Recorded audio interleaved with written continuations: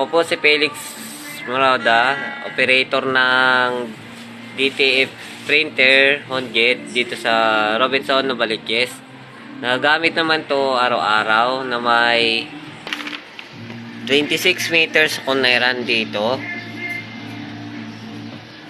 Ito po ang printer head. Napalitan lang po ito last year of October. Ito naman po ang capping na may 80% pa pong good working ito. Head clean po tayo, strong.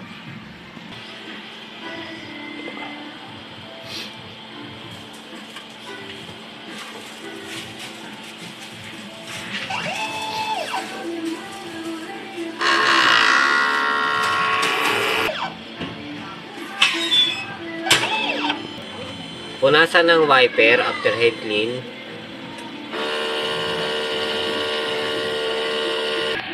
Nozzle check.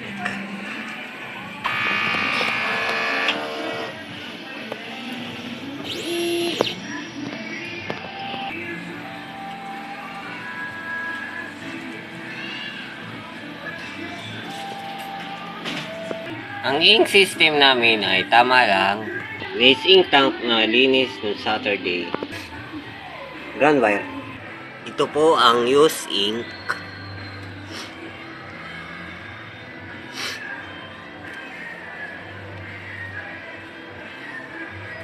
Ito naman po ang unused ink. Film. At powder. Ito po ang consumable namin. Inventory. Po yung nagamit sa powder. White ink. 30 cm film. Sa black. Magenta.